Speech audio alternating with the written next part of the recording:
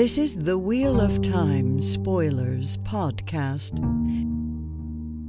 Yeah, evening, everyone. We are here today, joined by Ariel and Talyre, to cover one of the most anticipated chapters in the book, if not the series. yeah, why don't you two like introduce yourselves in case people um have you've both been on the podcast before, but Uh, I'm Ariel Burgess. I was an officially Wheel of Time licensed artist for eight years. And yeah, I worked on the series a bunch. Loved the series before that. Still like it, uh, despite whatever the show does. And um, yeah, looking forward to talking about one of my favorite chapters. And hi everyone, um, I'm Talyre. I am probably most known about about these circles for helping out with SpoilerCon stuff, but I've been around the podcast uh, for quite a while, and I've been reading the Wheel of Time since I was 14, uh, which is in the 90s. And uh, yeah, this is also one of my favorite chapters, and a nice coda to the last time I was on the podcast, which was discuss Gawyn and uh, Egwene in uh, like lightning and rain. So I really wanted to kind of have a couple bookends of uh, romantic chapters. Yeah, well, thank you both for coming and, of course, being flexible with the scheduling. Obviously, this chapter is being recorded out of order because Jordan Con was a massive ripple in all of everyone's planning. But I'm really glad to have you both here and to, you know, have Seth be kicked out for once. Not for once, it happens occasionally. we are here to talk about Mashiara and also some other stuff because like technically this chapter includes more than one of the most iconic scenes ever there's actually a, an excellent uh, kin slap down at the end but you know who talks about that really that's not the important part I always forget about that. I've reread this chapter again and again and again, and every time I read it, I'm like, oh, what's this without the kin? Um, because I just I'm really there for the Nynaeve Lan content, and then uh, but the kin scene really is excellent. So it's sort of the chapter is even better for the fact that it has these two totally different uh, sets of scenes in it. But I always forget that because that's never why I go back to reread it. for sure and it's not included in the title at all i mean mashiara is all about the first scene but yeah the kin scene is um it's a banger It's uh, and I think it's not just a banger, like it's a world changer. You know where where they go from there is. I would love to see in a couple hundred years where the Aes Sedai go from there because of the whole kin scene. Yeah, I, I'd forgotten it was in there too. Uh, I was getting through it. I was like, oh yeah, the rest of this chapter isn't just them. Oh yeah, it skips the wedding. Ah, It's also such a tightly written chapter. I mean, I think this is some, you know, Crown of Swords for me is really the last book that's very kind of tightly written, where every scene really feels like it's moving either character or story forward. You know, and we're about to kind of get into some of the slog uh, books, but I think that's this chapter really illustrates that for me of that you can have these kind of two iconic scenes. One the reunion of Nynaeve and Lan and two where the kin find out that the Aes Sedai have known about them all the time and that they're going to be welcomed back into some aspect of Tower community. Those are two huge scenes and they fit into this one chapter and move the story along in a way that I got frustrated with some of the later books because it took it seemed many scenes to move in as the plot along as much as that. yeah, Yeah. totally nodding it's a very very dense chapter as far as plot compared to some of the later volumes it feels like uh it actually like you're saying like it's it's well put together and like stuff is actually happening and it's not dragging out and that's part of why i think it's one of the best chapters because it just gets to the point and there's communication Yeah. like there's so many chapters where there's no communication and there still could be better communication but uh, the way that Nynaeve and Lan are or Lan are is very um 80s romancy where you know the woman slaps and he's very stoic and doesn't show his emotions and like there's actually some like verbal and physical abuse that goes on but it's deemed like romantic but yeah it it besides that like it it's a a very like oh finally people are talking to each other and moving stuff along and then we get to the next few books where it's like nobody talks to anybody And hmm. let's not forget also it moves character along because Nynaeve breaks her block in this chapter. yes Which Yeah. a huge character moment for her. And the fact that that happens all in this one chapter is, is sort of crazy from before I knew that they were going to end up together, I have loved these two characters. And so the fact that I get we they finally are reunited when they haven't been together since book four, and here they are in book seven. And I just I love that Nynaeve is like, we're getting married right now. Yeah. my own marriage was sort of like that. Uh, so was sort of very interesting in a like no no it was COVID driven right, but we need to get married right now. Um, so I think I took that a little bit from Nynaeve like no no no this is a good idea like let's just just take care of this. I'm not letting you get away. Yeah. Yeah, I almost find it a little disappointing that she breaks her block in the same chapter as she resolves with Lan. It's almost like these are such huge moments; they really could have been separated. Yeah, but yeah. Sometimes life is like that. It's just kind of all at once and it's because of a thing. And, um, you know, she didn't break it because of Lan. She broke it because her life was in danger and she had to almost die. I mean, she she had to almost pass out. She would have drowned if she died, but she had to almost pass out and like actually give in. And I've always loved Nynaeve, and Lan is definitely one of my favorite characters. Egwene is probably my most favorite. But as I get older, I I relate more and more to Nynaeve, and especially this scene because it really like it brings up the like the amount of anxiety and stress that she's carrying all the time and that's why she's created this block is um you know to protect herself through all of that stress and when you finally relax and you finally let go because you you don't know how to let go she she finally does break through that and i just and i love that it kept going and she didn't even realize that she had broken it yeah, that part's fun. she's like, "Oh wait, what?" and she embraces death you know in that essence she's very like Lan yeah. in that moment and yet it is not about Lan right? It's about Nynaeve's character growth and I, Ariel I think that's such an important point.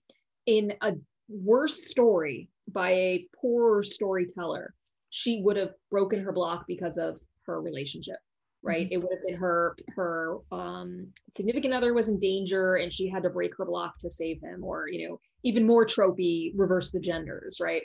Yeah. Um but the fact that it, she does not know Lan is there, she does not know that you know Lan is going to help save her. Um, she breaks her block without him. I think is such an important part of her development um, as a character and as an independent character who we can appreciate separate from her relationship. Yeah, for sure. That that would make it frustrating if she broke the block because of him. He just happens to be there, and it's like, okay, so that was concise story storytelling doesn't really diminish her accomplishment at like overcoming this huge thing and it's such a relief to have both those things to have the unrequited love resolved and to have the i have to be ragingly pissed to channel thing like to have those both in the past is it's a relief. Yeah i i also was like the just very jealous of her ability to just dry herself off immediately and then wipe away the vomit you know? so i i wanted to ask about that and i realize we're going out of order in the chapter um, so we could come back to it. When Nynaeve is doing that sudden drying herself uh, spell is that the same weave that rand uses with aviendha in the last book? Not sure. I mean why not?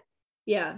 Like it's a towel weave right? Like it's just like but I guess because Rand isn't trying to remove water from clothing in that last scene because they're like they just took a shower so they're naked.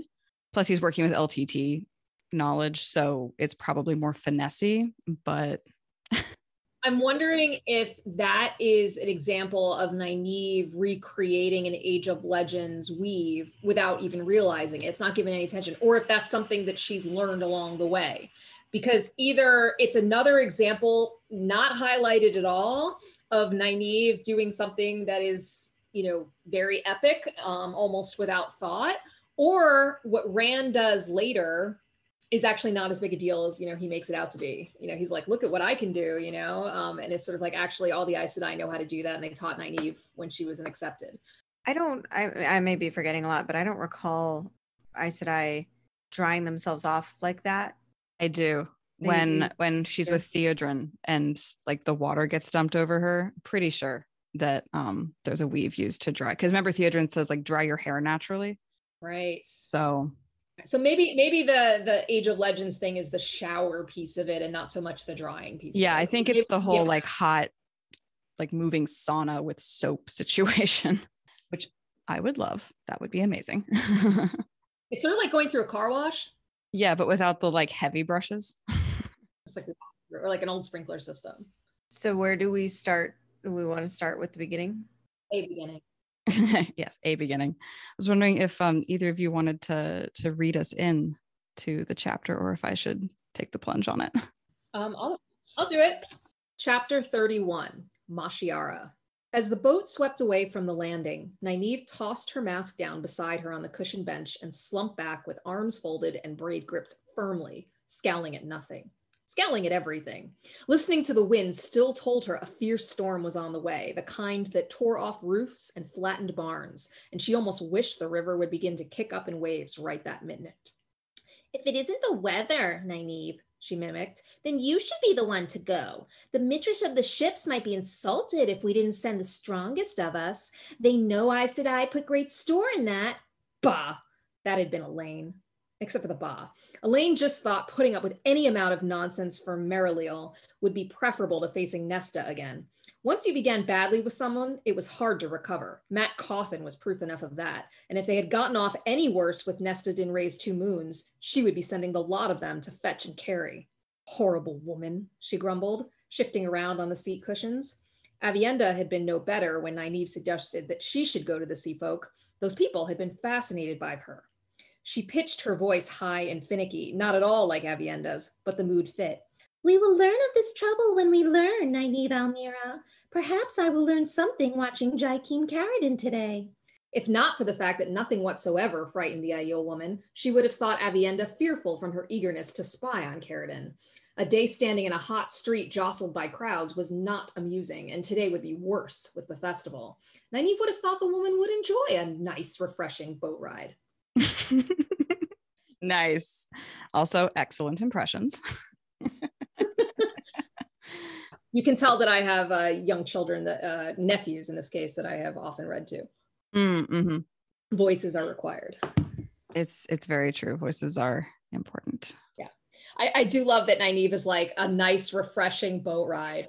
Yeah, okay, Nynaeve. First of all, Nynaeve, who gets seasick all the time this is going to be a nice, refreshing boat ride. Never mind uh, what ends up happening. And never mind that uh, Aviendha is Aiel, right? right? And is like, no, I'm scared shitless by all this water. Never again. Right. And this comes in a little bit later in the chapter, but where Nynaeve is starting to notice there's something about Elayne and Aviendha and like that they may be working against her. Nynaeve, it's interesting how unobservant she can be at times and how she has not figured out how close Elayne and Aviendha are.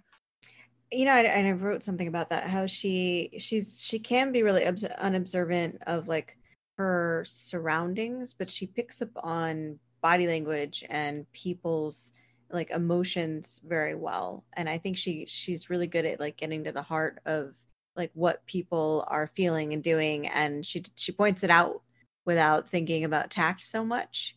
And that's something that i really like about her. And it's a really good balance to like elayne where elayne is extremely calculated and she's always playing chess but she's not always picking up on those emotions she's thinking about you know what steps people are taking to backstab so and so and i think it's like they're actually a really good balance to each other and they get so on each other about it but it was genius of egwene to be like no you two specifically should go do the thing that's a good point that they're very different like that. And yeah, Nynaeve, like she picks up on stuff, but she doesn't put it together in the same way. She's like, well, that the explanation that seems logical clearly can't happen. Like there's no way that the obvious thing is is makes sense in my worldview. So I'm just gonna assume it's something else.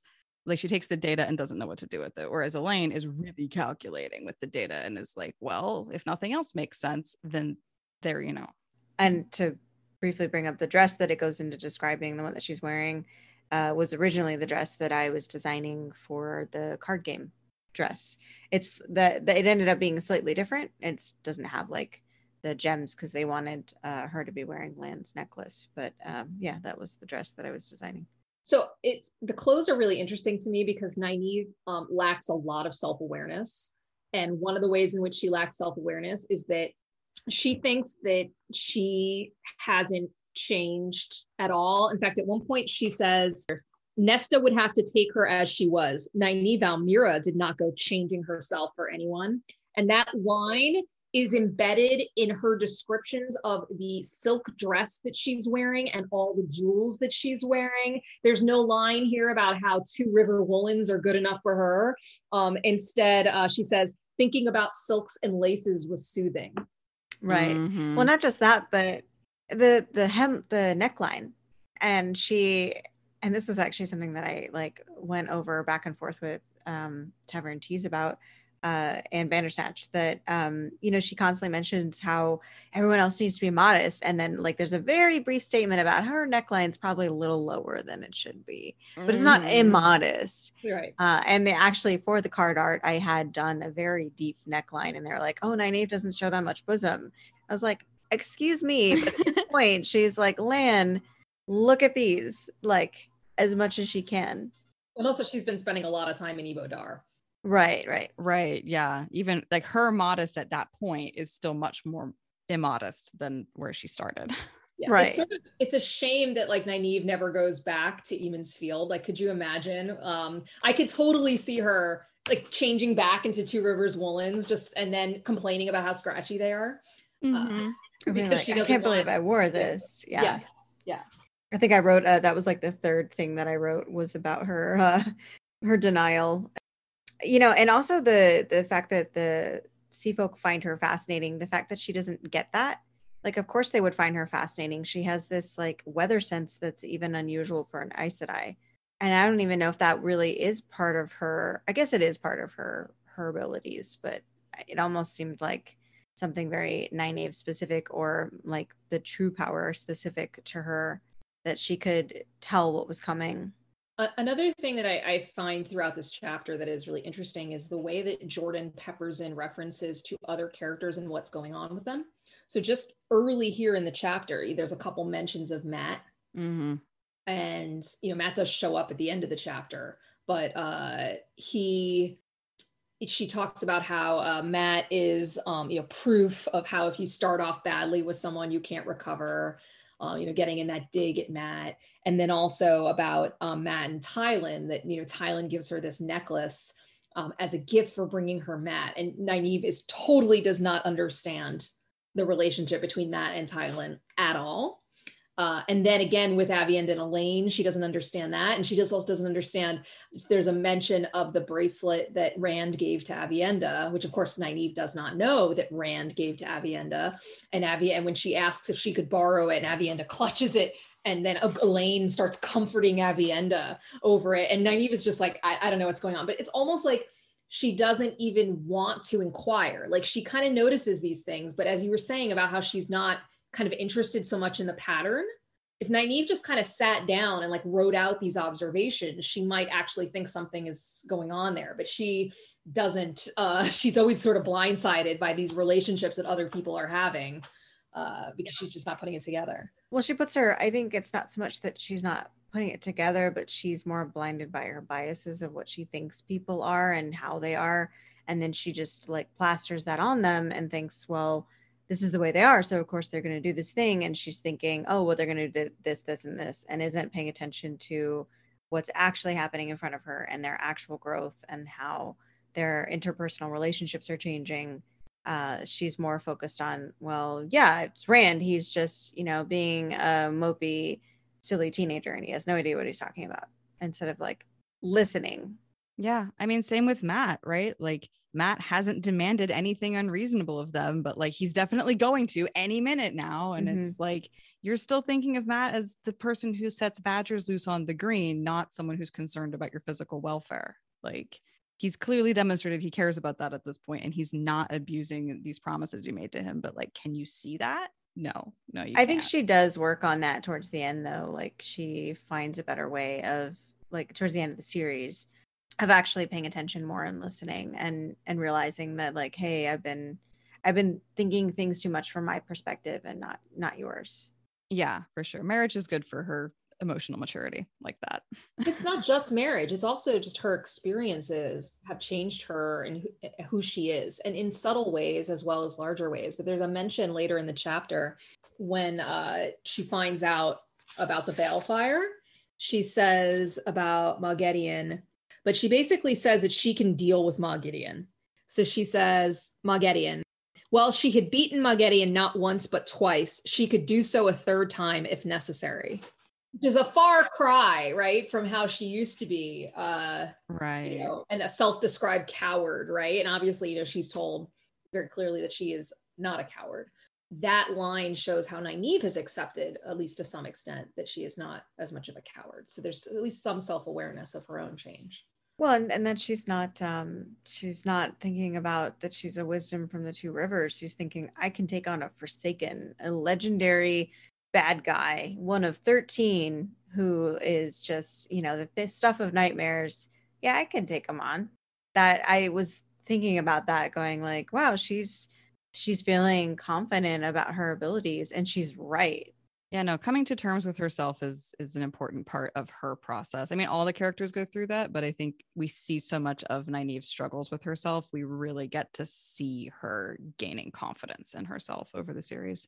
And in a different way than the other characters, particularly the other female characters. You know, I mean, you see that kind of growth in Elayne and Egwene as well, in particular, but they have very different paths. Nynaeve does not achieve a power position in the same way. Yes, she's one a very powerful Aes Sedai, but for most of the series, she's not considered a full Aes Sedai by her peers. And so she doesn't have quite that same level of authority. And even then later in the series, you know, she's really kind of Rand's kind of attache. Uh, whereas Elayne, of course, becomes Queen of Andor and Egwene is Amyrlin. So you like they have to deal with more of the politics and, and that forces them to grow in different ways than than Nynaeve does. I've always related so much to Nynaeve because anger is definitely like the number one emotion I struggle with. So like the politics and conniving of the other two is like that is an interesting thing, but Nynaeve, it's like, oh, relatable. Well, she's picking up on a lot of important things by having her dealings with Elayne because she will be queen of Malkier and the people that are left of that and, and the nation that will grow out of it again. Uh, and being able to learn those things and how to how to run a nation and how to be strong and steadfast for a people and care about a people but also not wear it so much that it kills her and i think that's part of why she's so angry all the time is that she can't heal everyone. She can't fix everything. And it's so hard for her to deal with that she can't fix everything, even when it's not her responsibility to. Yeah, Nynaeve is a caretaker. She wants to take care of the people that she cares about and that she feels responsible for. And I do think it's interesting that, you know, early on in the series, because she's kind of that older sister sort of character, um, the the other Emonds Fielders kind of see her in a negative light in a lot of ways, right? That she's preventing them from doing what they want to do. And I, you know, what you were saying just there, Ariel, made me think that she's going to be beloved as a queen. Oh, yeah. Mhm. You know, Yeah. like that kind of negative emotions towards her that a lot of people also bring to the series. A lot of people don't like Nynaeve at 1st Mhm. um, because she's kind of acerbic and in that way. But if you think about like that growth is going to be, she's going to be totally beloved. I don't know. I wish there was more. I would love to see where, like, in a couple hundred years, Malkier ends up and where she ends up. And I was thinking about it, reading it, like, one day Lan will pass away and she'll live beyond him. Maybe. But she loves him so much that she might not. Would she ever, would she live past him? Would she ever love again? Or would she just be the, like, just never ending queen who rules Malkier and everybody would love her because because of who she is and because of how much she loved Lan and how much she loved what was important to him. Yeah, kind of be queen in her own right in some Mhm. ways. Yeah. I, I like to think as as invested as I have been for a very long time in the Nynaeve Lan relationship, I think I think Nynaeve would survive Lan's death. You know, I think that, you know, I'm not saying it wouldn't be hard on her, but Right. I- there's, you know, I think that regardless of whether, you know, she had children by him that uh, would need, you know, um, that she, I, I still think we're, even if she doesn't, that she would uh, have plenty to live for. Um, but I'm glad I don't have to read that. Yeah. no, I, think don't it's want to read that. yeah, I don't want to read that either. And I think it's not so much that like she I think it's just like heartbreak of uh Yeah. like how there are some people that, you know, you read these stories about elderly couples, the one of them goes and a couple months later the other one goes. It's just like I think they're they're that much in love. And I don't get that kind of sense from any of the other relationships in the book. Mm, mhm. Uh, Certainly not Egwene and Gawyn. no, no. Ooh. No, I do think it's really. It, it made me think, Ariel, like how much I would love to have an anthology of short stories about Aes Sedai or channelers and their relationships, right? Because this is a problem, you know, it's a reason why I said I don't tend to marry. And but also now that we have Asha'man, like how interesting is that? The idea of people having relationships that last centuries. Um, right? Androl and Pevara.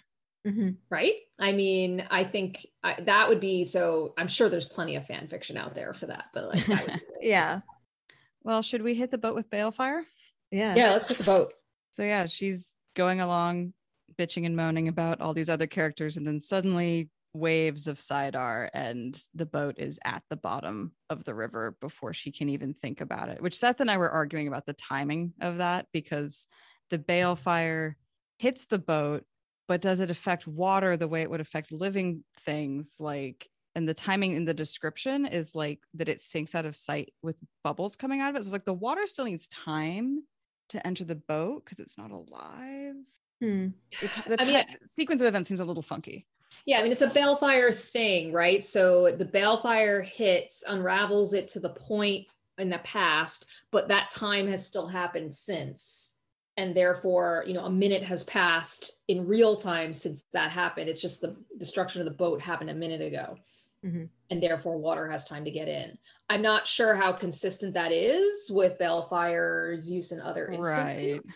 But um, I, I guess I mean that's at least the logic here. But going back to the previous chapter, I did find it so fascinating about Moghedien just being like taking that chance of seeing Nynaeve and being like, I'm going to take this opportunity to try to kill her from afar, right? Moghedien, not an honorable character. There's None of this like No. fight me right face to face. Moghedien's like, and I kind of that's one of the reasons I kind of love Moghedien. I'm like, you know, there's none of that honor stuff. That's a that's someone who I want dead. Uh, I'm going to kill them because I have an opportunity to do so. And I'm not sure if you talked about this in the previous chapter, but what caused the pigeons to throw her off base? ta'veren. But Nynaeve's I don't not know. There's no Tav- I mean, I guess Mat's there, but like that's not how Mat's Tavaranness works. So for those that may not recall this from the previous chapter, Moghedien is trying to send Balefire straight through the passenger cabin so she kills Nynaeve directly, but then a flock of pigeons essentially throws her off, and she that's why it goes through the boat and causes the boat to sink instead of killing her directly. And it's just sort of like what causes the pigeons? And I mean, ta'veren is an easier answer, but Nynaeve's not ta'veren. Mat's not right there. Rand needs her to cleanse the taint. So I I just assumed that it was because you know they're in a very busy city and there's a lot of pigeons and uh, she's easily startled these days. And Yeah, that's- there's- there's that's kind of where I, I assumed it would be. But yeah, I mean, it might have been, and and and then it comes all back to like the is there a creator thing, Right. You know, Yeah. Well, to me, it, it spoke of the um he speaks through pigeons. the in the first book when Logain is in the cage and Rand is sitting on the wall and Logain goes by in his cage parade and Rand sees Logain laugh and then in book 6 Logain tells us why he laughed in that moment. mhm. I kind of remember being like, "Oh, are we going to find out in six books why those pigeons, like who made the pigeons stop Moghedien?" And no, we're not going to find out. It could just be pigeons. okay, Um, pigeons are heroes of the horn. Let's go with that. I just had a thought. I wonder if it was like because so like Moghedien feels the cour'souvra getting touched. Yeah. I wonder if like somehow that like gravity well of like evil attention like disturbed the pigeons. Oh, or, Or does something. Moridin do it directly? Or Like- yeah, I mean, um, Graendal uses is it a pigeon or a dove to see through their eyes?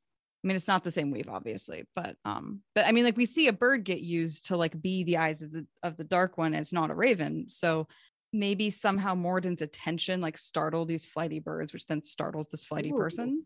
I like that. I just thought of that right now. So No, I, that's I good. don't know. Genius. The theories. I think it was Dove. Um, Yeah, I think it was a dove. So yeah, so yeah, so she's um she's in the water, floundering. I like that she doesn't freeze. She takes advantage of the air pocket. She tries to get herself out. I do like though, that despite that, she's like, "Well, I'm not taking my dress off. What happens when I get to the surface? Then I'll be in my shift." So you still see that modesty uh, is still there despite the lower neckline of the dress. She Um, also grew up in a like a poor village, and uh, comparatively to the stuff she's wearing, she's wearing what she is wearing is cumulatively more wealth than Emond's Field. Yeah. And we know that Nynaeve is pretty tight-fisted, so I do like the like, no, no, I, I can't leave the jewels here, even though she could probably retrieve them later. Right. I know, right? like, Totally. It's okay. Leave, you know, Nynaeve would not be good in an airplane emergency scenario where you're supposed to leave all your stuff behind. She's like, I'm not leaving this behind.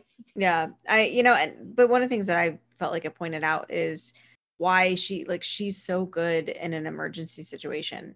She's one of those people that you want to have with you when shit goes wrong because she's there to like immediately turn on and fix it. She panics for like half a second, makes some very quick decisions, and that starts going, okay, how am I going to survive this? Everything else is for later. It made me think that, you know, with some more time and temperament, she would make an excellent Amyrlin. Mm, hmm Nynaeve is Amyrlin. I would love. She would rule with a wise but iron fist. she's able to get like through through this emergency moment of like quick planning and and what to do but you know also with with the amount of time to like calm down on like how she uses her anger she also is into the idea of with a little nudging being more open uh like Egwene. Yeah, the thing I noticed about this passage, because I mean, I love Nynaeve ruling everything, but the thing I noticed here is a foreshadowing of what happens in like just a page. She would drown before losing what's in her pouch. Mhm. That's the ring.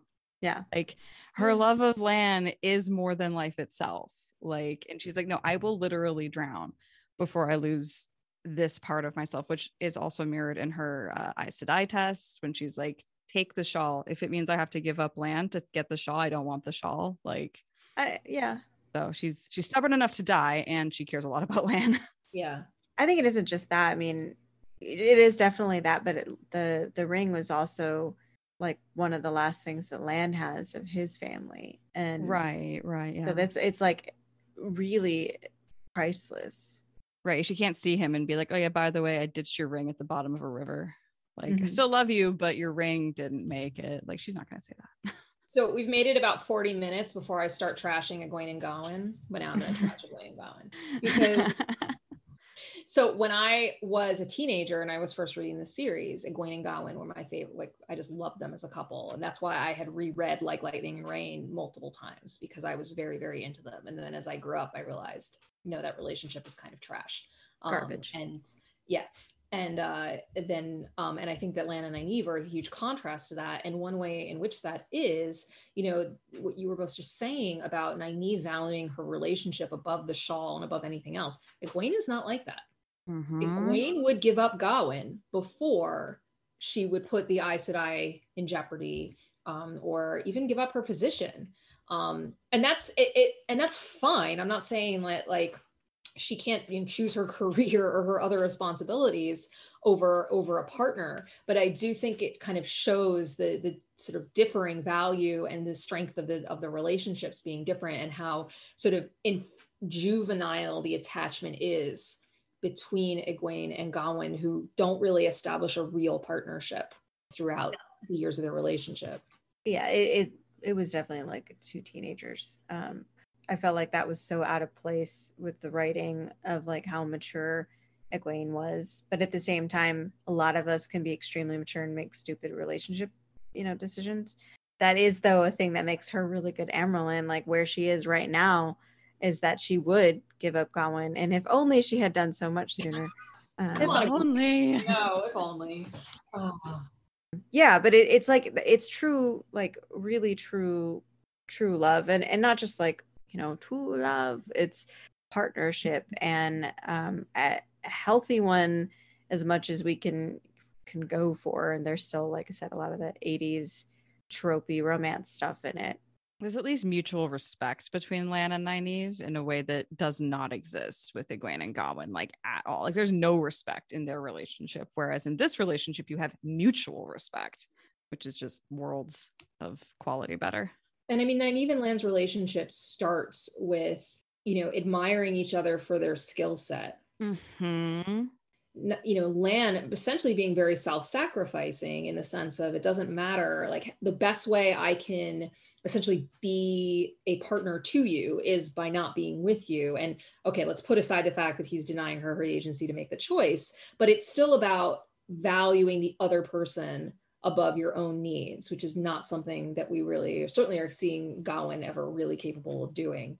You know, when you were saying about Nynaeve valuing Lan's ring, not only because of what it means to her as sort of an engagement ring, um, as she says in this chapter, which I love that she just lies about that. Yeah. I love the way that she just lies about two rivers customs to get what she wants. I'm like, you go, you do that. Um, but also this idea that it is an artifact of his childhood and that he just doesn't have those connections to Malkier anymore. And that she is willing to risk her life to care for something that is important to her her partner. And I think that that's it really does show the strength and the maturity of that relationship, which by the way is also not a sexual relationship, Mhm. right? Lan and Nynaeve have kissed twice. I think.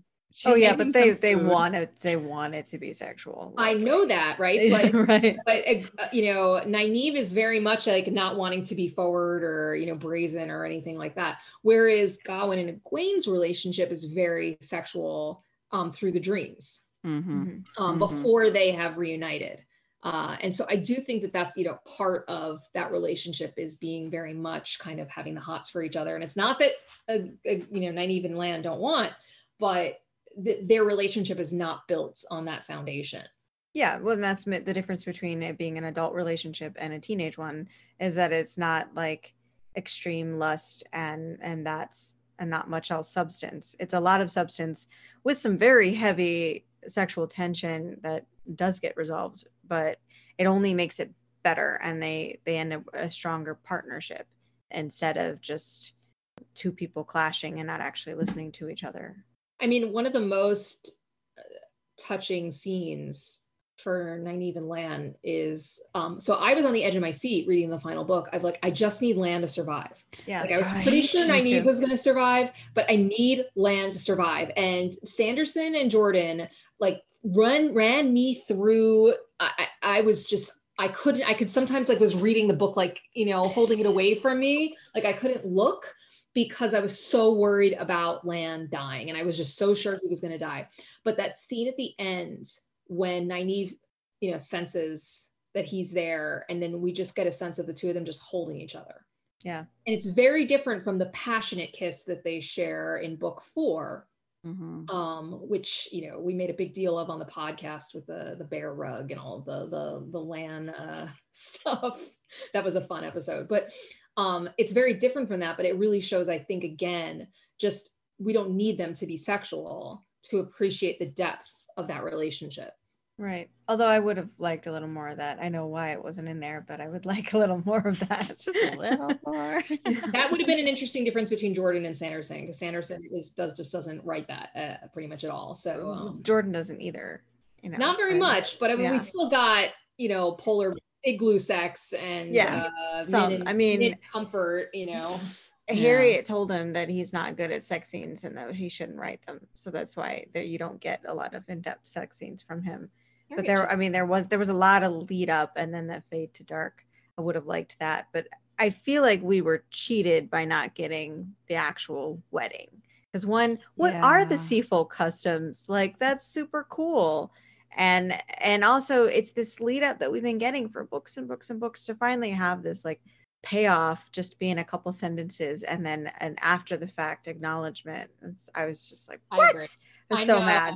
I'm still Yeah. mad. I'm still mad. still- And it was like 10 years ago that I read this book for the first time.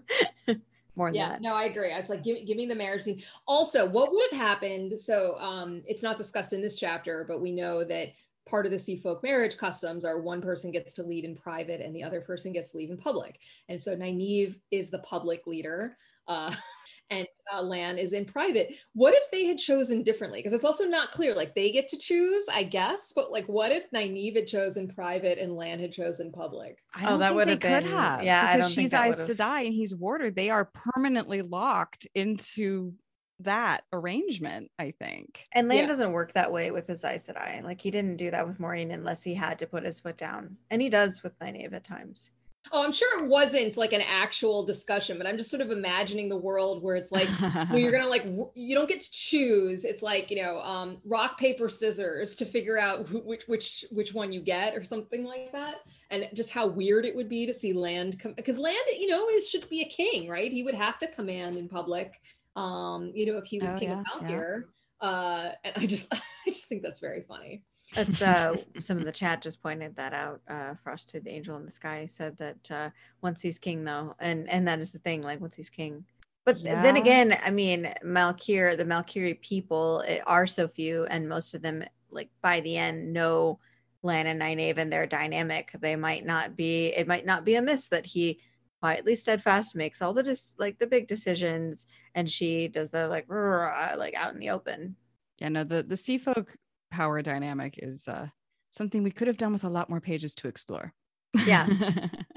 but for for now, Nynaeve is has the door stuck down in the mud and is trying to dig her way out and running out of oxygen rapidly. And this scene, honestly, every time it gives me so much anxiety, like the shrinking air pocket and the like digging away the mud and being like, no, I'm going to find a way. I'm going to find a way. Oh, no, it's impossible. I'd have to push the whole boat with my arms. It's just so anxiety inducing. Well, and one of the advantages of, of Nynaeve having the block is even though she's this incredibly overpowered character, as long as the block is still active, we get to experience situations where she isn't powerful at all. And in this case, she can't channel. So she is just sort of a regular person, despite the access that she normally has to this amazing power. And we, you know, we do lose some of that as the books go on. You know, some of the, you know, the early books challenges of things like how do we get from place to place? I guess we're going to take way gates, right? Oh no, we can't get through the way gates. And then now it's like, oh yeah, we can just travel. Mhm. Um, and so I do kind of I one of the things I kind of miss about her not having the block is just sort of this limitation on her abilities that um, creates real challenges for her to deal with situations. yeah it really felt like it was um it was relatable uh that she was just very human in that moment and very vulnerable and still willing to fight tooth and nail to survive i i really i really liked that too and that it is sad that you kind of lose it and it becomes more of like the superhero genre of movies where it's over the top. That terror of being trapped and trying to get out and trying to survive and having something so important to fight for that's that's extremely relatable. Yeah and her just like i will not die. I will not die here but like also i can't get out and there's no hope and there's no land. And and like that's what makes her surrender is that she's like i refuse to die here and then it's going to be forced on her anyway and like Right. realizing that is the turning point on her block like it takes accepting death Yeah, embracing death breaks the block. it was Yeah. incredibly human and incredibly Yeah. land of her yes at the same time No, it's such it is such this amazing moment in the series. I mean, I mean, Nynaeve's block has been such a huge part of her character, and to have it broken like this, you know, it's the kind of thing we would speculate about about you know what how will Nynaeve's block be lifted, and then to have it happen with her embracing death in this moment, and then that Lan happens to be there to kind of help shepherd her out into this next phase. I think is pretty cool. Yeah. Yeah. Of all the people to help her embrace life again after, it would be Mr. Embrace Death himself. which is uh, important for him mm-hmm. like he needs saving too and she's there wanting to save him as well and not just like the way that she says at the end of the chapter but i think him saving her is the beginning of him being saved Yeah. Because now he has something to live for yeah for real. yeah and also watching her fight Yeah. And and she brings the Malkiri in. Like, I mean, she just refused. She's like, no, I will not die here. And now I'm attached to you. So you will not die here because you are me. We are one now and we are not dying. Well, and he's important, you know, unlike with Moiraine, like he was important to Moiraine, but she was very like the cause is more important than anything else in the world. And I will push you out a window in order to get what we need doing or out of the way. So I die. And he didn't get a choice in that. Yeah. And with Nynaeve, he's he's like not getting a choice, but he he wants this. and you know and later i think about you know, he doesn't get a choice when Nynaeve tricks him into making him ride across the length of the borderlands before he can get to Tarwin's Gap, right? Mhm. But just this one, I love that scene as well. Oh, it's amazing. It's goosebumps. And uh, so when we did the spoiler con fan video, I did Nynaeve, and one of the you know her big line there, you know, uh, when we ride alone was you know I, I love doing that, and it was you know, very very cool. But when I think about that scene, I think about here is someone who loves this person so much that she is going to fulfill the need he sees for himself, right? He needs to do this. This is part of who he is. And a lesser woman in a lesser relationship would say no no i can't risk you that way I, you know i you know uh, you're too you know uh, the thought of you dying is too much for me i can't let you do this thing that you need to do and Nynaeve doesn't do that she fulfills what he needs to do for himself but she gives him his best chance um, and, and just that kind of sense of being a true partner of she doesn't like it she would rather keep him by her side but she recognizes that that is not what he needs and she's putting his needs above hers, but with a twist. Right. There will be compromise here. Fortunately, Lan was right behind her for this whole thing because she might have drowned in the river even after busting out of the boat. But he, he I love how he just follows her in this whole like scene. He's just like, Egwene sent me to Ebou Dar the second that I figured out where you were, I just tried to get to you. Like I didn't try to meet up with you at a bar at a convenient time later. I was just going to you like an arrow to a target and like boat vanishes under the water, take off boots, dive into water. Like he doesn't know what the situation is, but he just goes for it. And without him doing that, she still could have died. Yeah. In this scene. Um, because I mean she comes out in a burst of water, but like she's deep enough in the water that she's not necessarily going to bob to the surface and have the cognizance to like breathe and swim and all that. Yeah, he's got to tug her by his by her braid. Right. And like give her a little bit of like, you know, the rib squeezing, like, here, you need air in your lungs. And like, I do find the part where she punches him hard enough to bruise a little hard to believe because she's out of it and she's in the water. And I feel like water would slow down your punch. But I'm also really bad at punching. So maybe that's just my bias. Yeah. Well, I mean, it it could, but well, like a dying animal when it's that thrashing that can be pretty forceful or yeah, the fear of death, like Seth saying, drowning victims can get scary strong. Yeah. I've never done lifeguarding. I just needed rescued by one once. it's uh that that pump of adrenaline can can make you do pretty amazing things. Um I wasn't crazy about them uh, about like just the fact that she punches him, but I thought it was still kind of you know when she realizes that she did like oh my god and, and then fixes it immediately. She goes through all these emotions uh, in a very very in like two pages. You know she's um you know sick then she's uh super happy. Or no for, well then she's like upset and embarrassed and then she's super happy because Lan is there and she's giggling and then she's embarrassed again because the oarsmen think that you know she's worried about what they think and then she's angry because Lan is uh, given his bond to someone else. I mean, it's really like in two pages, she's just all over the place. And maybe that is partly the adrenaline of almost dying, right? That she's mm-hmm. just experiencing all these different emotions, but it's uh, it's these lightning qu- quick changes. almost dying, finally seeing him again. I mean, it's been a long time. It's a lot. yeah, I'd be exhausted. And it's just like she she was willing to you know try to punch a shark in the face. I mean, like you know, she's definitely in an extreme state. I do want to ban Jordan's use of the phrase something odd, right? So Nynaeve delves Lan and says that uh, you know he's got new scars and there was something odd and then you know later on uh, you know there's of course with Aviendha, um, you know the something odd about you know her preg you know her pregnancy. And mm-hmm, so mm-hmm. i'm just spoiling left and right. Sorry people. That's what it's you get in the podcast spoilers podcast. I know. Um but you know it's just sort of like is the something odd just the the fact that the bond has shifted or is there something else that's something odd about lan? I i thought it was the the bond has shifted that it wasn't moiraine and that it was Myrelle. I, I thought, I thought it was it was the the death sadness from mm-hmm. Moiraine dying. It's that magic depression thing. I think she would pick up on that because she's really like good at healing I think it's more that something odd is in someone someone's presence there that isn't wasn't before. Well, she didn't, did she ever even delve him before? I mean, does she even know what a bonded warder's like bonded part of his brain feels like to delving? Yeah, I don't know if she's delved anyone who's a warder. Has she? She, she hasn't been back to see Rand since he got bonded. Um, maybe not. Maybe not. Um, do you think that Nynaeve would be able to heal that about a warder, um, the the breaking of the bonds, and she's able to heal so many other things. It seems like she like thinks she, she can.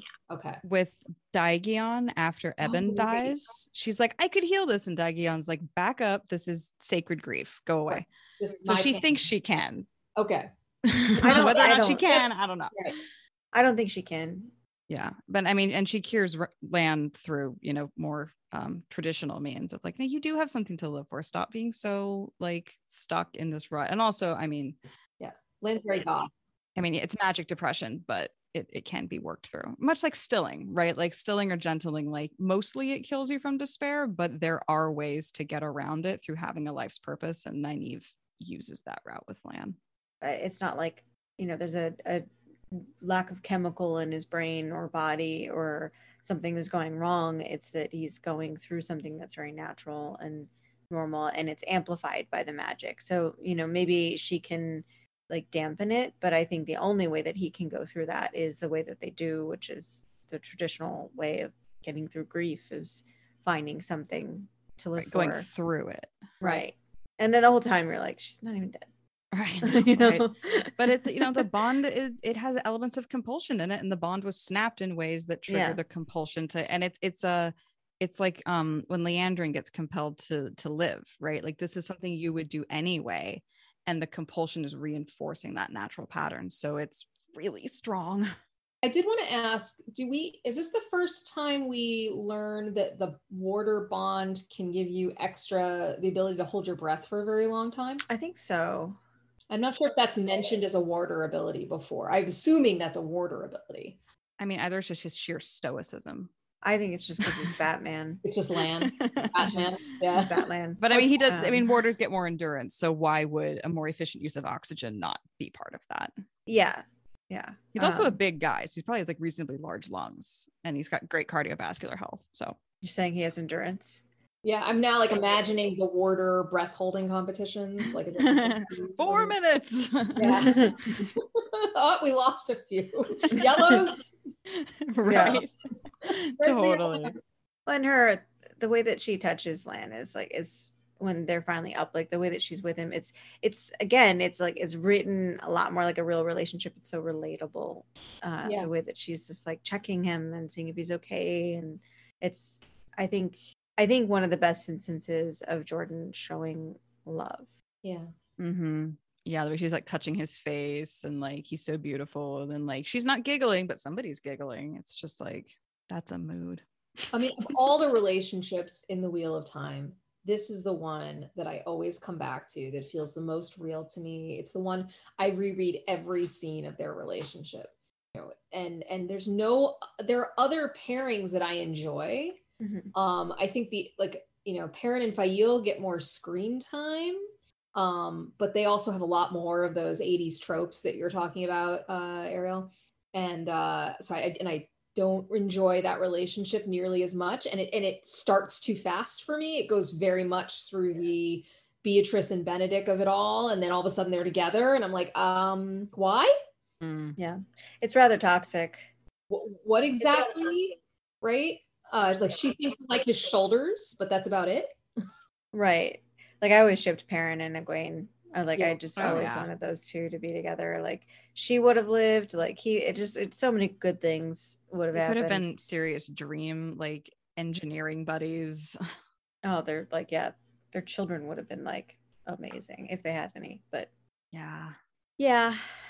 Things that might there's have just been. no other when i think about all the other pairings i you know, there are things that i like about some of the pairings um, but i just you don't really get that same depth of appreciation for who the other person is and what they bring to the table um, and going through a lot of things and making sacrifices for each other and what the other person needs um, and i just yeah it's just such a it, it to me it's a huge part of why i love this series uh, the realness of this relationship between the two of them Right. And well and whenever I've recommended the series, it's because of getting up to certain scenes and points that I think people would enjoy. And this is one of them.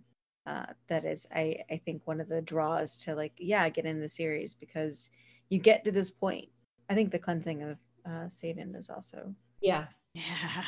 yeah and i think the other thing about it and this gets back to the point about you know that we don't get the wedding i think that's part of why we're annoyed. It's like this is the culmination of books of relationship building and we don't even really get that point. It's just you know this and then cut to you know Nynaeve and Lan walking in and Mat being like why would you want to marry Nynaeve? You know?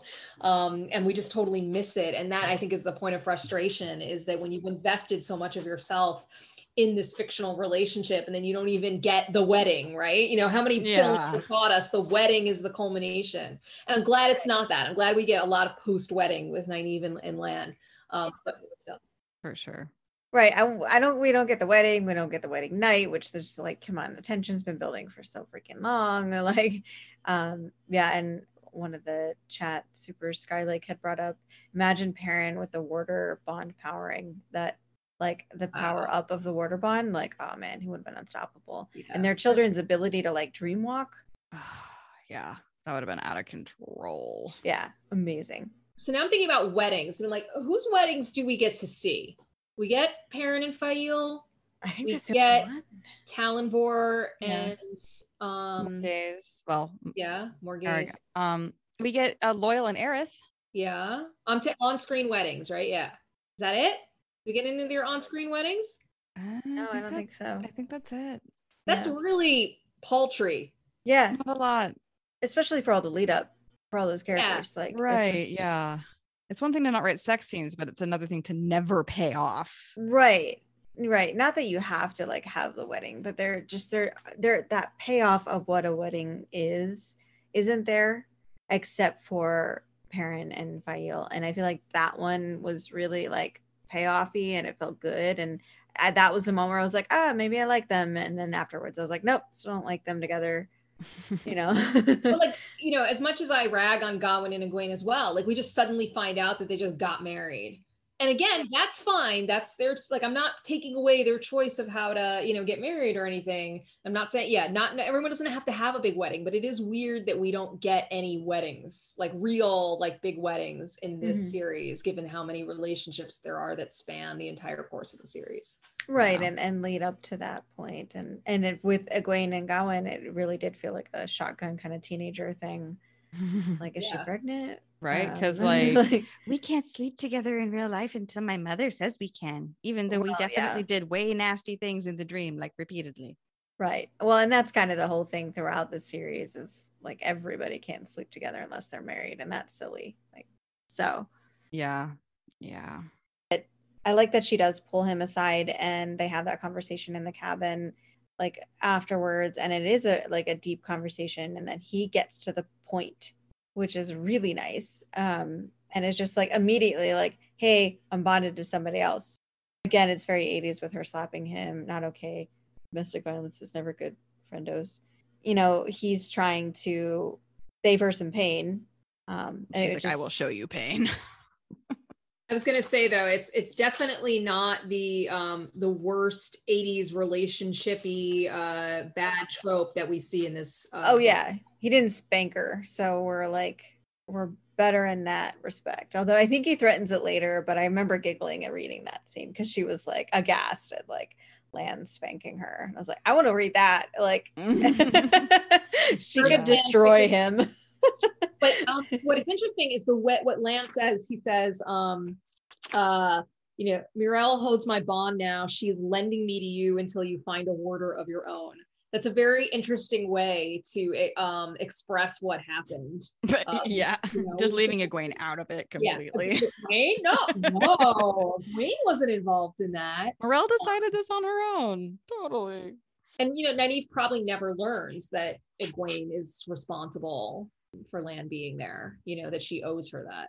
Right. Well, I mean, Moiraine technically set the whole thing up with Myrelle so that she he he would get to Nynaeve. So like it's not totally lying to just leave Egwene's participation out. No, it's Lan is being very Aes Sedai here, right? He's Yeah. he's not lying, but he's also not, you know, giving Nynaeve the whole story there.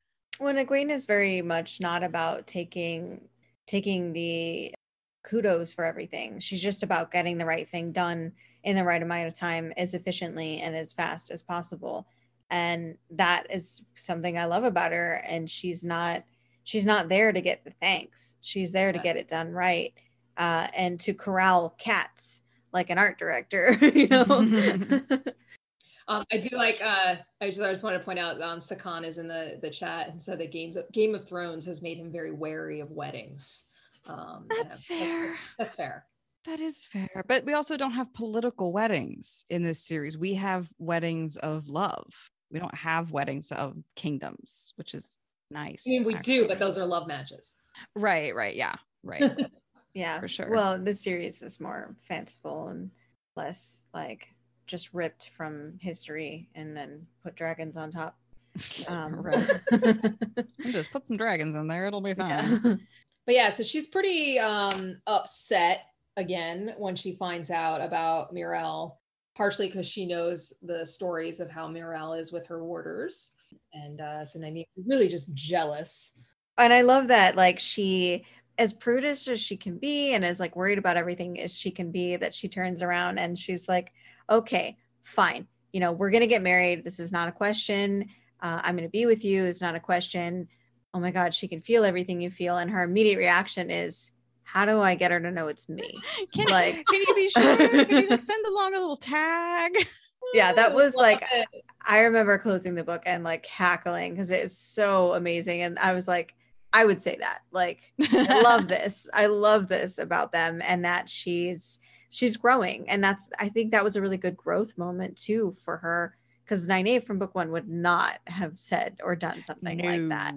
But the fact that she is at this point and she's this confident in her love for him and she's this confident in herself and she's not afraid of, you know, a forsaken, that she's like, yeah, okay, fine. She's gonna feel what you're gonna feel. Like, I'm gonna make her feel stuff, you know? Okay with that, right? Um, also, uh, Aradia, I just want to note that uh, good trivia question: What animal does Lan compare Nynaeve to when she says that she wants uh, Myrelle to go Ooh, her? that would be a good trivia question. Because I always Yeah. misremember what he says, uh, and I'm not going to say it because it's going to be a trivia question. nice. I already forgotten. I just read the chapter again like two hours. I know. I was like, wait, I actually just had to check again. I was like, "Is it that?" Nope, nope, nope. It's not that. so like right in the right Yeah. in that conversation. Yep. And then this the, the part I like about this conversation too is that Lan goes from giving her the title of Mashiara, his lost love, which is this like absolute depth of despair, to on the next page, his first proper belly laugh since Moiraine died because of that comment about can you tell her that it's me? And it's like, okay, you've hit your nadir. You are coming up the other side now. Like in in this conversation, you have actually hit the bottom and now we're coming up because you have regained your lost love lost no longer. Yeah, and she's determined to make sure that you know he's not going to die, and she's going to take care of him. like and there's hope. Like the darkness can leave his eyes. It comes back but like there is hope. And as a healer right like she can see that like that that is a path to healing him yeah it's just it's oh, it's such a great chapter for build jordan just does such a good job in building this relationship through conversation you know you said that earlier ariel about communication and you know so many of the other relationships are defined by characters not talking to each other i mean let's take elayne and rand who we we like they spend three days together in Tear and then they don't see each other forever but they're in love and i'm like Yeah. "Mm, are you Yeah. like and then maybe they they, have fall in love later but right. And then they have sex once. Once and she gets pregnant. And like that's and that's it. I like I was so as a as a teenage girl, like I was so angry about that that I was like, oh no, and then she and then it never writes that she has sex again. And you never even read that her babies are born. Like it ends with her still pregnant. Like i was so impressed the that she, the books ended with her pregnant i'm like you no you can't you, you oh yeah well that gets us into the timeline issue of how like the last five books take place over the course of like a week or whatever it is. It just just it depends on how close you are to the Bore. Um but even yeah uh no i think it it is really interesting the lack of communication between other characters. I mean, Egwene and Gawyn my always my go-to punching bag um who you know meet in book two don't see each other between books three and six but she's in love with him and wants to marry him and you know no wonder it feels like lightning and rain. Um no it's not real. Uh, it's not a good writing uh technique. The lack of communication is not I, I feel like that was he showed a spot where he was weak in his writing is is the lack of communication was something that that pushed the the plot forward. I think it would have been more less frustrating for the readers to to read if it had been oh they're communicating but it's still going wrong because that's Yeah. Like yeah plenty of people are bad communicators but you know this is it's pretty bad like All of his skill was piled into this chapter for that Yeah. kind of communication. spread it out and it but all of Nynaeve Lan's big scenes are like this, right? So if we think That's about the scene in book two, um, you know, when he first gives her the ring, or first of all, the, the scene in book one, right, where they first kind of confess that they have feelings for each other, and then in book two when he gives her the ring, and then in book uh, four when uh, in the leave taking chapter, right when they're leaving and the kiss and everything. Okay, and that one is like less conversationally because Egwene and Elayne are there, um, but there's still kind of his vow that he won't survive her long as she dies in Tanchico and and him wanting to go with her to Tanchico and allusions to previous conversations that they've had. And then we jump to this right? Those are the key moments in their relationship and they're all built around this kind of conversation and and communication between the two of them. And i just it's just that's why i have reread all of those chapters. That's why off the top of my head i know all those scenes because they're so compelling and there's no other relationship in this series that is comp- as compelling as that when it comes to just two characters who are just able to talk to each other about their needs and what they want um, and able to resolve the, the challenges that they have in their relationship. And that they have that this moment where in the cabin where they do have those communications and decide okay this is this is what we're gonna do and he's not fighting her on it because because he could like he could fight her on it um and and leave and not marry her. But he wants that. Like he actually wants it and deep down i think Lan doesn't want to die no, he wishes he didn't have to die. He thinks he has to, but that doesn't mean he wants to. right And yeah, yeah. and then he's like, "Oh, Nynaeve, you're so stubborn. Oh, you're twisting my arm. Oh, I guess I'll be your husband. Fine." and before he met Nynaeve, he was fine with dying. He just sort of, you know, he had he's embraced death and the understanding that it will come to him, but he didn't really have much of a reason to fight that. Um, to want to have, you know, to maybe not want to to die. Uh, and and it's great to see the way in which he doesn't compromise that side of himself, right? He still has accepted, you know, death and, and up to the, you know, last uh, his last scene in in in the last book, you know, and he he pursues that. But um, you know, with uh, with Nynaeve, like it really does. She really does give him a reason to want to choose a different path. yeah, very much so. He's so great. I love him. Yeah. This makes me happy. You know, I don't reread the books as often as I used to, but like anytime I'm feeling down, I will pick up one of the books that has a good Nynaeve Lan scene and read it, and it just makes me feel better. yeah it's it's good. Yeah so uh, just to wrap up they they head back to the docks and then he was like turn this boat around. We are going to go get married. Also i have a meeting. Um and uh the done. thing about Moghedien i can i can beat her. Yeah she's got shit to get done. she discovers that she has lost her block. She didn't really realize that for the past 10 minutes but she suddenly is like "Huh, i don't have a block anymore. That's pretty neat. And Lan's like yeah that's that's pretty neat. Yeah. i almost don't hate that. That's actually pretty cool. I mean, like I have to say that if I had almost drowned and found out that it was because one of the big bads of the universe is after me and then also reunited with my my love and convinced that we're getting married like i would be like okay that's enough for today. Yeah. like, go back to the inn and relax read a book like take a bubble bath like that's it. I'm done. And Nynaeve's like nope gotta go to a meeting gotta get married probably have five other things on the to-do list let's start checking them off Right. Oh, and she has to think about the fact that four bodyguards died protecting her. And she's like, oh, I should have thought of that sooner. Oops. but I love that she does, and that she brings it up, and she's not just like all wrapped up in herself uh, in this moment, and it's just a good reminder of who she is and that she does care, and and I love that she's sitting on his knee and they're laughing together that she's broken her block, and it's so like, oh, they deserve this moment, like they really deserve this moment. anyone would forgive her for suggesting that you know they go off somewhere together. I mean i know because she, doesn't know that they're going to get married by the sea folk. Yeah, she she thinks that she she's curious about their customs. she's curious about their customs right? She says she thinks that somebody on that boat can marry them right? But you know if she had wanted to just kind of like go off with Lan and put that meeting off to the next day Mm-hmm. right because remember Nynaeve tried to get out of it Nynaeve tried to get elayne and Aviendha to do it Mm-hmm. Nynaeve does not want to do this. This is a built in perfect excuse to get out of it.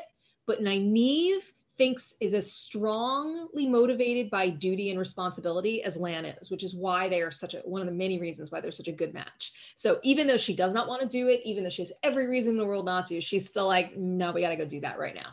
Right. Maybe we can do this other thing I want to do while we're there, but that's we got to do this. Yeah, she's just like, I'm gonna go meet with important people. Surely one of them also has the power to to marry us while we're there discussing, you know, the fate of the climate. Seems reasonable. And then it works out. And then they're bound to customs from a culture not their own that they have no idea what they're walking into, which is Which is quite the story, you know. yeah. um, I mean, I relate to Nynaeve in this. Like, I I would totally do that. Would just be like, okay, now I have meetings to do, and also like, let's be as efficient as possible. You know, there's a captain on the ship. I'm sure that they can marry us, and we'll get all the things done, and we'll be very productive. it's a very full day, but she's gonna make it a wonderful day. Like, does not matter how much she almost died. This is gonna be a good day. Yeah, but you do after this really want them to have like, I I don't know, a, a while, not not just a week, like just They to need like chill. a year honeymoon. Yeah, Go on retreat somewhere. But that's not who they are. No, but they might take a week. That would be extreme. maybe for at the end of everything i would i would say like maybe at the end of everything after the books but no i mean they have a kingdom to rebuild and people to help and refugees and What's the best honeymoon destination in for Raymond? them Mm. good question um Um, hmm. I mean, the reflowering Malkier would be really like, you know, unbuilt up. So it'd be really like nice nature Mhm. because everything's growing. right Um, oh, Mayene hasn't been destroyed at the end of the last battle because that's Mhm. where the hospital is. So Mayene, that's warm and non-destroyed. So that would be say like yeah beachy beachy stuff say maybe the the land of shanshan because it's an island ish and uh everyone's gone um Right. yeah sure. Isle of Madmen. Tremalking yeah i think i think Tremalking Or maybe they should go to a steading so that way, like, the power is just not part of the picture. just like any steading would be gorgeous. Yeah, the Not one of Ogier- the ones where the dark friends are being held. I love the idea of the steading is like set up as resorts. Anyway, sorry, that was uh, it's a totally off topic question, but it just it just occurred to me. i'm thinking about the landscape itself not not the bodies not all the corpses. Yeah, corpses. Tremalking does have the whole mass suicide. right thing, right right Yeah. but, uh, if you look at it on the map it's a nice spot mhm, that's Maybe true. we could uh, rebrand Shadar Logoth. I mean, that's yeah just a big pit in the ground. So, Yeah, you see, know. there's a lot ready for development. Cheap plot. yeah. Yeah. I'd say for Ebou sure. Dar would be interesting, but yeah, it's Yeah. also Yeah. Or like, you know, one of those like Toman Head, you know, it's like rustic, you know, like small little villages. But of course, it's Seanchan territory. So, well again not, not great. Yeah. for the most part they're yeah, gone. Anyway. But we can move on to the kin now. I just wanted to make sure we hit all the plot points of the last of their thing. But yeah, um, the kin getting slapped down by Elayne, which is fun. I, I love this. I, I love how El- Elayne, you know, that Elayne gets to come and come in, and after they like kicked her out because there's no way she's Aes Sedai, and then she comes in, and and even then they're like, oh oh no, uh, you know, I don't know what this young woman has told you, Aes Sedai, and they're like, um, she's our leader. Yeah, that's a little awkward.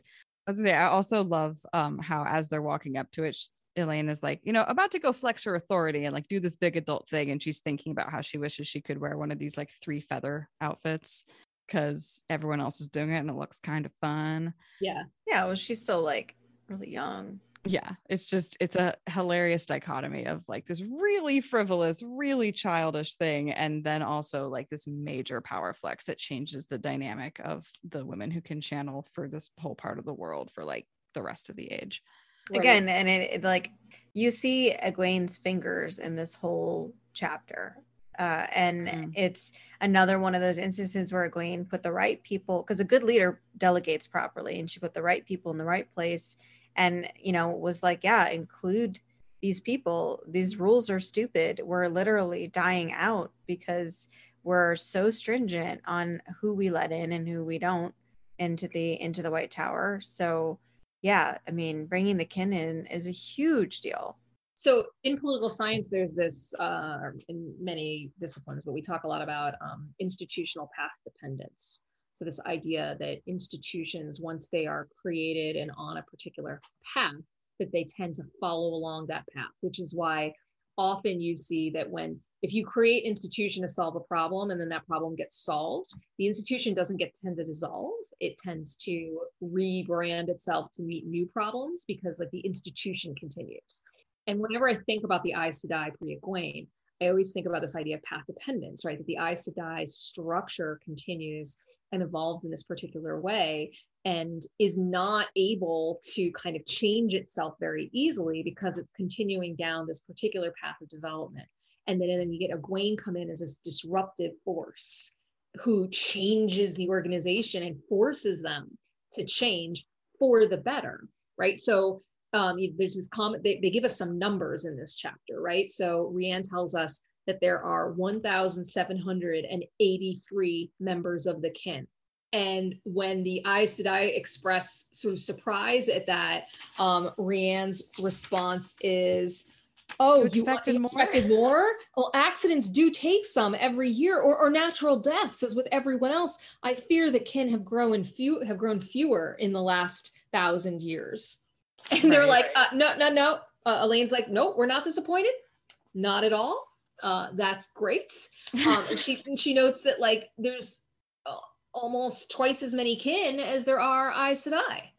Right. Um, and that's just in the kin, right? We obviously know there are other groups of channelers out there. You know, the Aiel aren't sending their women, the Sea Folk aren't really are only sending a few. Um, obviously in Seanchan, right? As well as all of the other, you know, women who just never get tested but could have been able to learn. And it's amazing the way that you have this closed off sense of power um, that has been limited to an elite few. And Egwene essentially kind of democratizes it and says, no, anyone who wants to learn and is able to can learn right and it's again a you know good leader looking to delegate resources and looking to maximize the efficiency of her resources and saying no you're over 20 you can't become Aes Sedai is just stupid it's inefficient and it's limiting themselves so for her to come in and be like yeah what so what you're older that means you have more experience and yeah you're going to have some blocks and stuff but okay yeah. And like you said, also delegating, you know, she didn't delegate this mission to an established Aes Sedai who knows the institution. She delegated to one of her friends who's as much of a firebrand as she is and is like, what rules? I'm just going to do the thing. And like that creates compounding disruption to shake up the old order. Well, and also someone who's going to implement what Egwene wants to happen and isn't going to try to fulfill her own agenda here right? So, you know, because we get this bit where Elayne says that the other Aes Sedai, you know, tried to talk her out of this, um, and that she she had to really hold firm on this. Uh, this idea of inviting, and, and we're, we're not told exactly what she had to fight against them, but it's clear that it's this idea of inviting the kin to be part of the White Tower and you know the other Aes Sedai are not happy about this upending of their order. But what I notice in this scene is how you have Reanne go from a, a groveling mess, right? She says, you know, forgive us, Aes Sedai. Her voice was worshipful, worshipful, and only a little steadier than her knees had been. You know, she babbled, in fact. You know, so she's just groveling um, and eager to help the Aes Sedai in any way that she can. She begs forgiveness of Elayne, and Elayne is finally like, stand up, like stop. Too much. right, too much, right? So this is how we start with them, you know, this kind of fear of the Aes Sedai, this feeling of unworthiness. And then when Elayne tells them that they can be part of the tower, we get to this point where Elayne says, Those who can learn to become Aes Sedai will have the chance, and there will be a place for all, for any woman who can who channel. Unshed tears shone in Reanne's eyes. Elayne was not sure, but she thought the woman whispered, I can be green. Yeah. I remember getting a very like it was hard not to rush over. Right. I know. Yeah. yeah. I mean, I, I actually kind of, you know, I can be green is such a, like for me is a great quote, but just this idea of the way that they move just in this one chapter from the groveling and everything to realizing they can be part of it to the way the kin respond much later in the book series where they like are over the Aes Sedai and think that they're like a bunch of squabbling fools. I love that development of them as a group, but I love in this scene the way they go from you know, these people are so above us to oh I can be one of them, I can be green it's the kind of whiplash that Nynaeve goes through. I mean, not that Nynaeve goes from groveling to ecstatic, but like that's an intense emotional whiplash to go from like I am about to be skinned alive by these demigods to I could become a demigod too. What?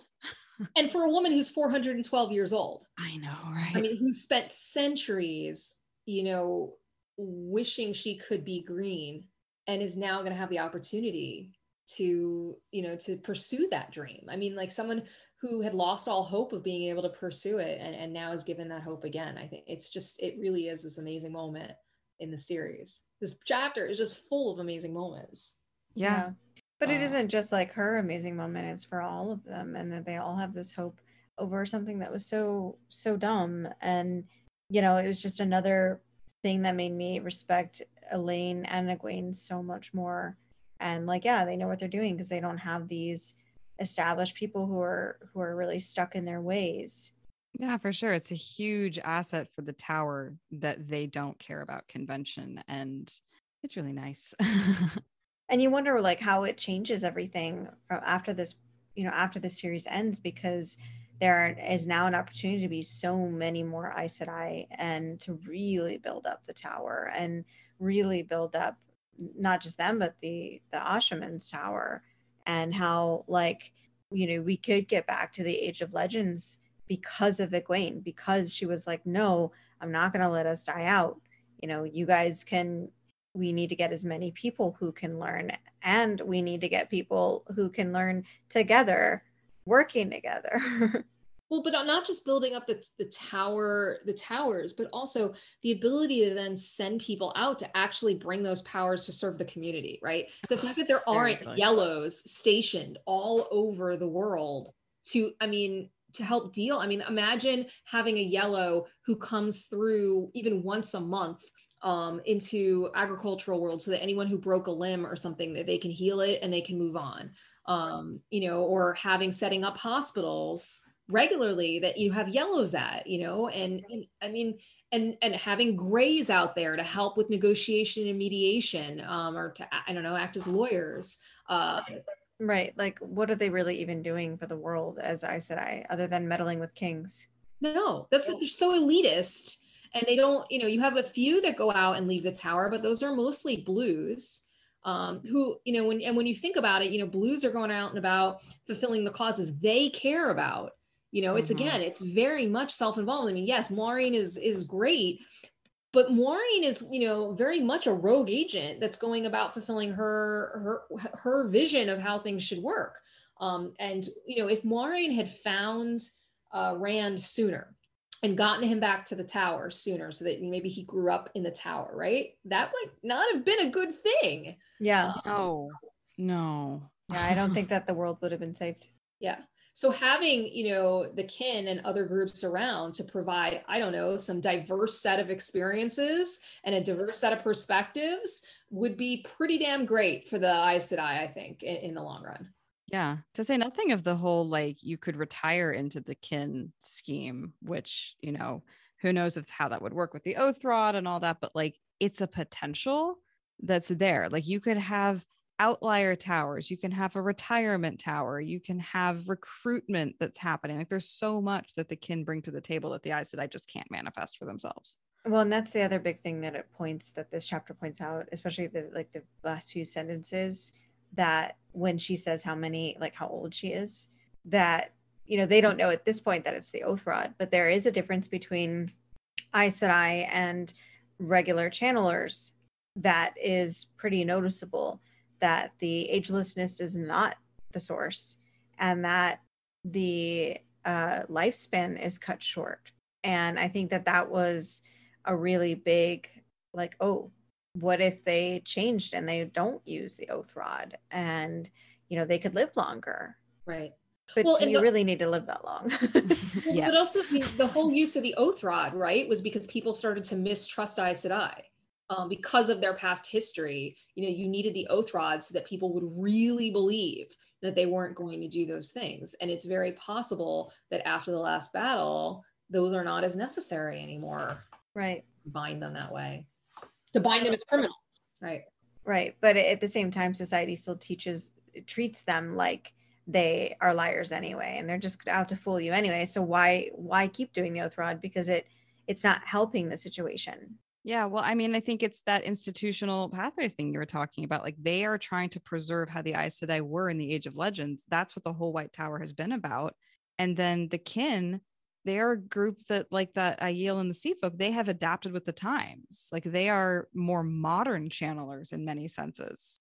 Well, this is one of the big themes of the book, right? Is about the corruption of history into le- legend and myth, um, and how what we think the way the world worked in the past is not how it actually worked. And what's fascinating in the series, right, is that we do get characters who did live in those times and who can actually give us more accurate information. But through these efforts to preserve customs of the past and to try to do things as as you know in accordance with history, and the Seanchan are a great example of that, right? We're, we're reclaiming Arthur Hawkwing's lands, right? Okay, from 500 years ago. Good luck with that right but that's this is huge theme of the series about the dangers of doing that of trying to rely on your understanding of an incomplete history and trying to fulfill some kind of through line from that and the dangers that poses and then the value of disruptive divergent thinking um, into that process and realizing that actually if you're willing to let go of these long-standing customs um, that don't necessarily fit the times uh, you can build a better society I have a, a question. I'm curious. Like, do you think in this moment, this conversation and bringing the kin into the Aes Sedai is one of the biggest things that Elayne will do in her lifespan? Like world changing things. It's a pretty big thing. I mean, and bringing in all of the ter'angreal, which gives her a lot of engineering food for thought. Yes, I'm, I'm thinking about this. I'm like, so like, what are the big accomplishments of Elayne's life in the series, right? So she's able to create ter'angreal. Mhm. Okay, Which is huge. it's no, it's big, right? But and I'm not, I'm not trying to. It's not this it big, but, but it's yeah. not world changing. Right. Right. Right. We could get by. Okay. Particularly, it's good that she's able to make copies of Mat's medallion. Right. That's very Right, valuable. Right, right, right. In in terms of you know ensuring the survival of multiple characters um, right Uh, does does lan use he uses a copy right I think he so. doesn't have Yeah. yeah. yeah so i mean that's you know uh, so so good elayne preserves lan's life that's her most important uh but no i do think that you know leading andor i mean i don't know that andor really needed elayne i mean given that it Caemlyn gets completely overrun because Elayne leaves.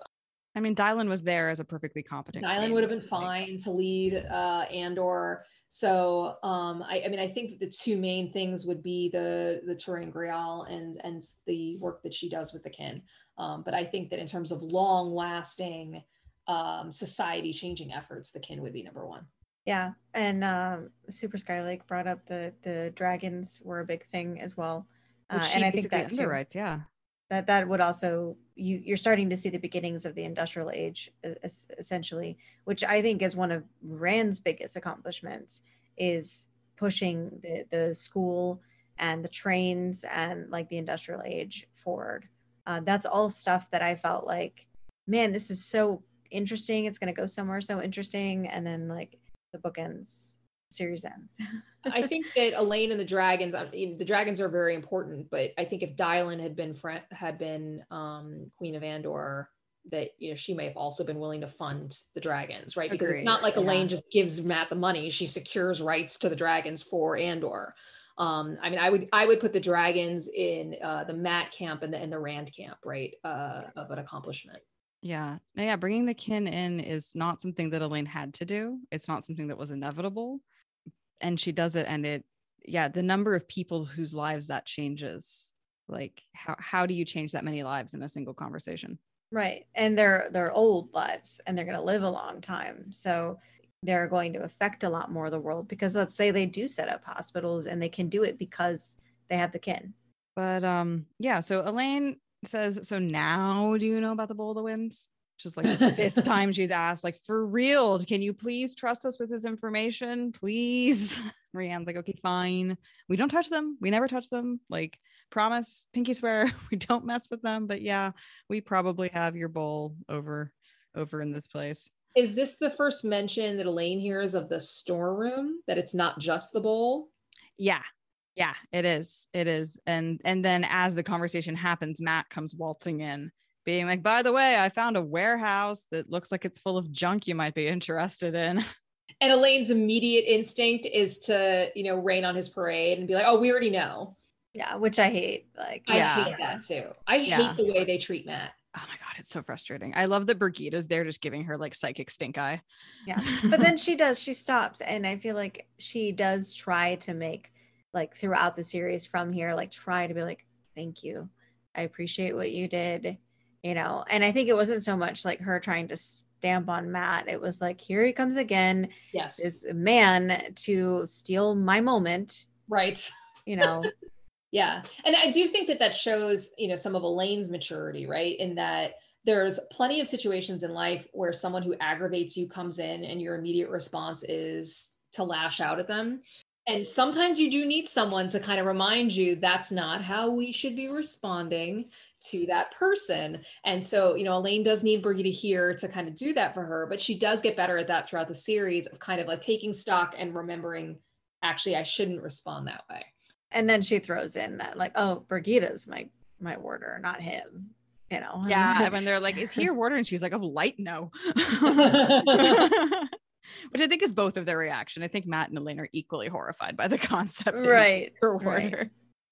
and i and i do like also just the idea of um you know the the kin have been shocking the Aes Sedai with their numbers and their uh and and about to to with their age right and so then they get this little shock of Birgitte being elayne's uh warder um so kind of a, a nice sort of uh, lots of um new information coming about for all sides I, I do agree that like yes Aviendha from the chat I do agree that like yes Aviendha told her that she had to ask nicely but like or to be nice to Mat but she and by doing so is learning to like step back and be a little bit not as much as she should be but a little bit like okay he did do this thing. And I if I remember right like eventually she does actually stand up for him and be like no wait Mat did help us. We should be more thankful Yeah, she's also, I think, partially motivated by the fact that he's an Andorman. At one point, she's like, "Oh, he's my subject, so I should treat him with respect," which is like sideways, strange way to get to treating him like a human being. yeah it shouldn't be an afterthought but okay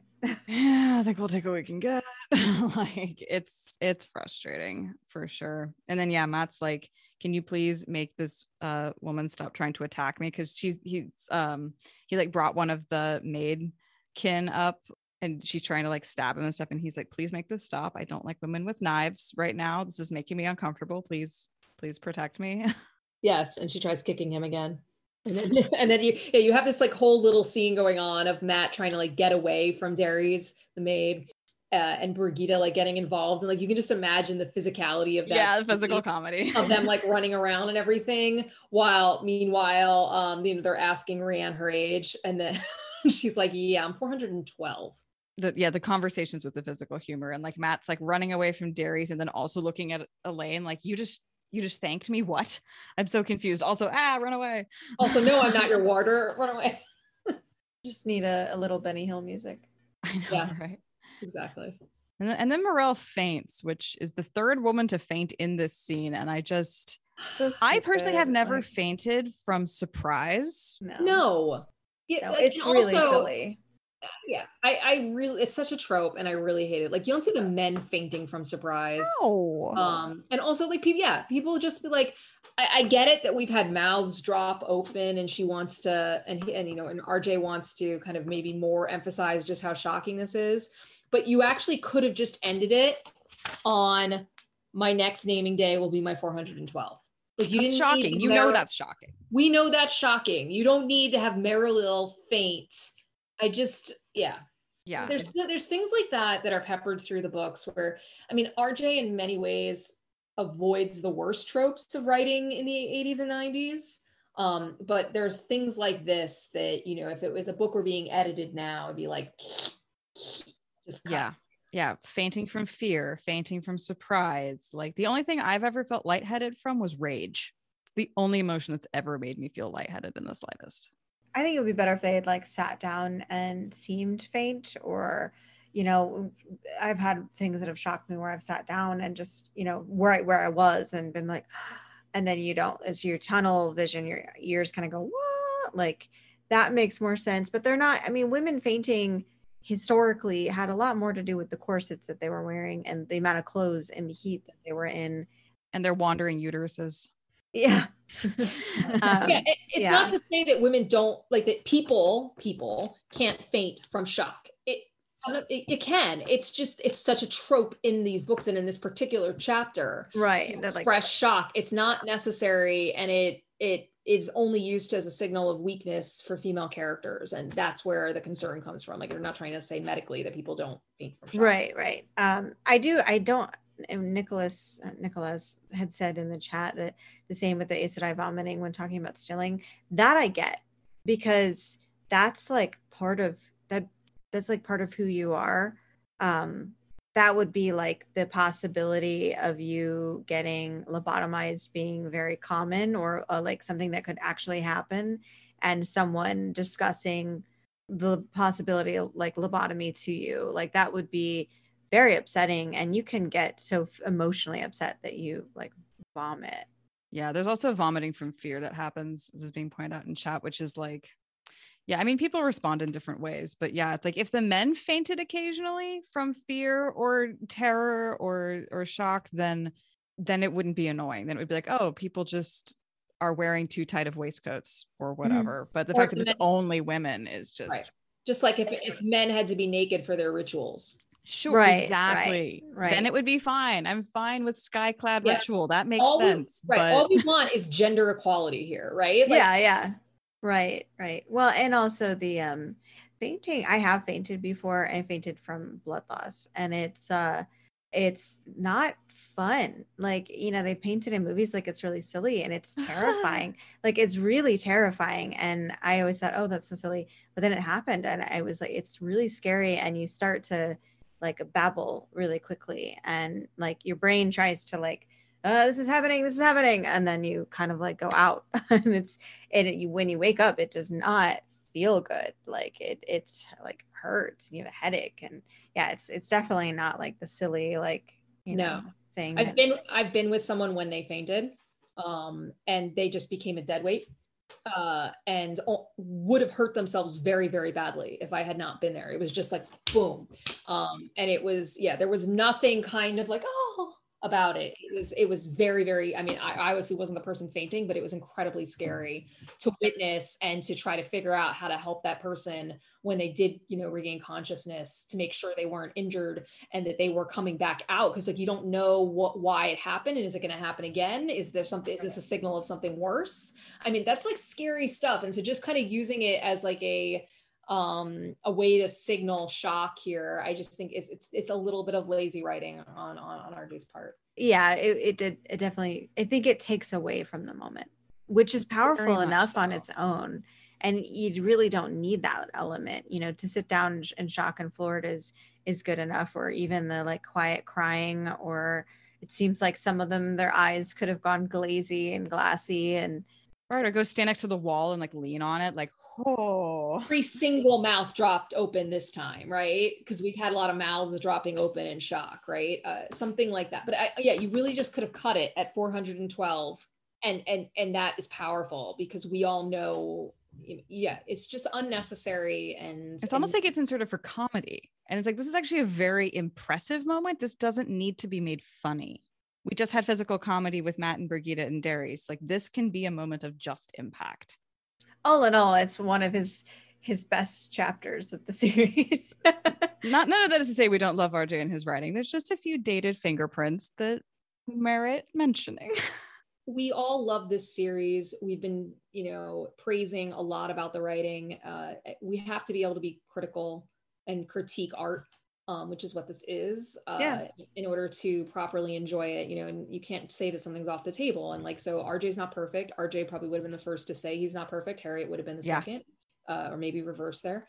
And uh, you know, and it doesn't mean we don't love this work or this scene or anything else. It's just pointing out things different decisions that could have been made um, and, and and thinking through you know what those what the implications are for people that are reading them yeah and things that you know we can maybe look forward to there being in the show like no fainting from emotion or gender equality in fainting from emotion like that could be a thing that gets updated gender equality and nudity would be Oh God, lovely. Please. Everyone has hot butts, please.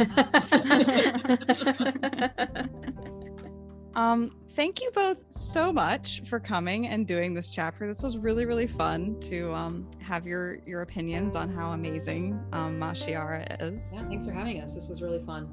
Um, really appreciated all the comments in the chat too. yeah, it's really nice to read through. It's it's actually only been two hours. It hasn't been three. Yeah, coming in at under two hours is like whoa. Yeah, it's a short chapter. Yeah, it's dense, but it's short. And yeah, this has just been an absolute blast.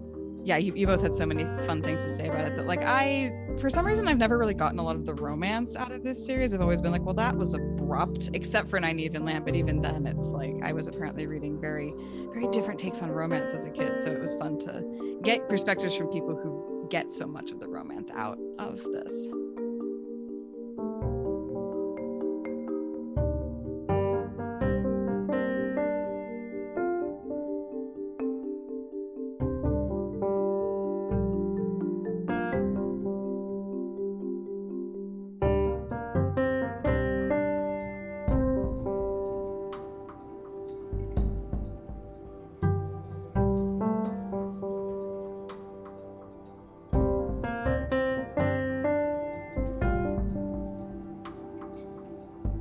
For me, I mean, I started reading this series. I mentioned, you know, in in the mid '90s. So when I was reading it, book six had just come out, and so, and this is 25 years later.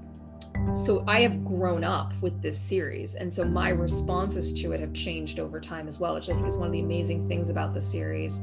Um, particularly for those of us that read it as it was coming, or at least some of it as it was coming out, and you got to like enjoy the kind of speculation and theorizing about it.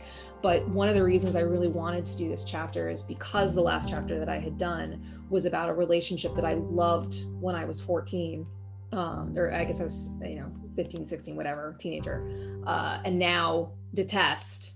And I wanted to talk about this other relationship that I loved from the beginning and still love, um, despite some of the, you know, whatever flaws we talked about in the writing. Like it's just such an amazing relationship and i think that this you know chapter just really is some of the best of what what the series is all about i mean it's such just a great representation of of character and plot um, and why you know we all love the series Yeah, absolutely. Yeah, I I started it when I was 15 and finished it about 22-ish. I started in 2005 and so I really I really connected with Egwene because it was like her age and then all the way like her age to, to the end. Going back and reading it again, there was a lot of things I was like, "Oh, I love this character." Like I really liked Mat first time around and every time I've I've gone and reread it, I like him less and less and it i think it has a lot to do with just like who i am now as a person and i don't connect very well with people that feel like forced to have to help their friends or like um to be in the the way that like the womanizing in it is like got more and more on my nerves. But also like being able to go back and see that you know things like the pink ribbons was wrong. You know it's just cha- a change in the culture itself and the culture like i grew up in and the way the culture is now and and what uh, is acceptable and not acceptable. And you know to be able to look back and i've read more books now and i've watched more movies look back and be like oh this is a very you know 1980s you know thing where they're really toxic. It's very like moonlighting you know they're mean to each other and uh you, it's not good to be like that. Um, but it's nice to be able to yeah like you were saying like have that and still be like you know this core relationship or this core plot line is still so relevant and it's even more relatable as i get older Yeah, for sure. yeah. And even though even though the books themselves you know are the same our responses to them do change as we get older. I find i'm a lot more interested in the quote unquote adult characters than i was um, as a teenager you know as a teenager you know you're really into the Emonds Fielders because they're your age and they're, they seem like the protagonists but i'm much more interested in a lot of the um, you know like a, a Moiraine and a Siuan and a Gareth Bryne uh, now uh, th- than i was then um, and I also, you know, it is interesting. And I think one of the things that I love and will always love about the Wheel of Time is that while my responses to characters and scenes change, you know, Pink Ribbons is a great example of that. This series always gives me something to think about and I enjoy reading it. Whereas there's other series that I read at the same time that I have gone back to read and found um, I don't want to read this anymore. Um, and I, I the example I will give is the the Sword of Shannara, which is Terry Brooks. It was one of the first fantasy books that I read, and I re- I have very strong memories of reading it and loving it. And maybe a couple years ago, I picked it up again. I'm like, I'm going to read Shannara. I know there's like a lot of other books that have come out. Like, I'm going to reread that. I haven't touched it since the you know 90s or something. I'm going to reread it. Do you know that there is uh, not one named female character in the Sword of Shannara? The closest you get is a minor character mentions their fiance. I don't know that she gets a name and I was I, I made it like three quarters of the way through the book. And I'm not the kind of person that so like just stops reading a book in the middle. And I was like, you know something? No, I'm not giving this any more of my time. I don't want to read another book that is entirely male characters. It doesn't have to be. And Lord of the Rings, you're on that list too, by the way. As much as I still love the films and that, you know, there's great things about Lord of the Rings. I'm like, I don't want to reread that book. At least there's Arwen and, you know, an Eowyn, but, you know, there are good female characters in there, but of Shannara didn't even have that. And you know, the Wheel of Time, despite these kinds of things that we're talking about, some very problematic issues in relationships and treatments of gender in this series, it still has some of the most powerful, most interesting female characters in, in fantasy fiction ever. And um, and I, that is something I needed as a teenager um, and still need as an adult. I think it's almost it's almost completely female driven. yeah. Yeah, I found these books also when I was a teenager in the early 2000s. And I have learned so much about myself and about the world from rereading them over and over again. The fact that the books don't change as I grow and change, like my ideas about gender, my ideas about power, my my basic knowledge of what military strategy is. I mean, these things have all grown from my love of Wheel of Time and the fact that it is so complete and there are so many characters that do so many different things and like now I have two tattoos for it and like you know it's just having it with me as I've grown and through my whole life and as I read other books and then compare it to Wheel of Time. Like that has been just such a profound like piece of my life at this point. Like that's why I got my first big tattoo was I was like at this point my life has been thoroughly shaped by these books. Like even if I never read them again, like too much of how I passed through the latter half of my adolescence is shaped by marinating in RJ's writing and it's you know, I'm so grateful that like the boy I had a crush on was like, you like big books. Maybe you'd like this. And I'm like, yes, yes, I do. Also, I like you, but I won't say that. Uh, well, and it, it's not just that. I mean, it speaks to the story, the community that has come from it, and the community that is built on it. And you know, we'll we'll see whatever happens with the show. I don't have high hopes, but um, it the series itself has created this kind of community. And you know, for me, my life has been completely changed um, because of because of the wheel of time every person i am close to is i've met through the fandom. And you know my i met my partner uh, because of the fandom. I'm living in minnesota because because i uh, ended up liking the wheel of time at 15 years old you know living outside dc and you know getting into a series that introduced me to people that gave me a, uh, an opportunity to work on the series. And then from there you know go to a convention where i met people that had friend that you know now i live with. So it's just uh it's pretty wild. And it, it really speaks to the quality of the the characters and the type of person that rj was. And you know yeah there were there were flaws. And i you know I, and a lot of us do wish that he were around still to like give us his opinions on all of this. Yeah. Yeah. A, a great loss that we I mean, at least we found each other. We yeah. Did. And collectively, also, we're almost one RJ. and I also met my spouse not only through the Wheel of Time, but through this podcast um, and the Discord community. So definitely um, one of the most yeah. nifty accomplishments of the podcast. Amazing. Bringing together such yeah. awesome people into such a profound connection. Yes. Yeah, I, I think that that's such a crucial point, Ariel, is that it's it's these books, it's our responses to these books as we as we age, but and this community that has built up around this series uh, and, how we're able to find so many things to spend hours talking about a single chapter um, of this series and uh, with much more content to come is uh, is pretty tremendous. It's pretty great. Yeah, um, and and briefly on just uh, on RJ and Harriet, a, a, funny story is that uh, one of the times that I was at a meeting in her in her house, and um, my partner was there. We were going through like new shirts with Tavern tees, and um, he was like test modeling out to them because he's he's a good looking guy. He's very tall. He's triangular built. He's long dark hair and everything. And Harriet just kept, oh, you so remind me so much of my James, and she kept saying like how he was. He just reminded her so much of of uh, Robert Jordan and uh, how he was so handsome and tall. And I was like, oh gosh, Harriet, like get a room. like, you know, like, um, it was really, really sweet. Is one of my uh, like cherished memories. She was she was really funny with him. Um, but yeah, that was that was pretty cool. Yeah, it's an incredible series, and I'm I'm so grateful for it. And you know, no matter what the show ends up being, we have we have these books and we have this community, and I don't think that's going to go away. Absolutely. No, I mean, like whatever the show does, we will bond over how we feel about it. Like, oh, yeah, that will be part of the experience. Yeah.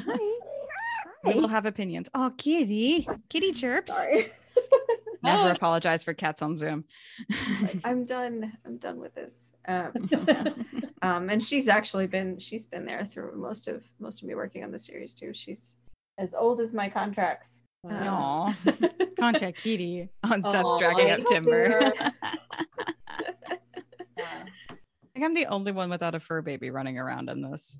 I need to fix that. fix that. I need to fix that. We're coming up on a year of being here at this place where there's room in in space and headspace. So fur babies are not too far away. yeah, there's lots lots of fur babies that need love and homes. Yes, very much she's, so. She's a rescue. Thank you. Yeah, this has been wonderful. Thanks again so much. Thank you for listening to the Wheel of Time Spoilers podcast rate us in the Apple Podcast app, or support us on Patreon. Is that good enough?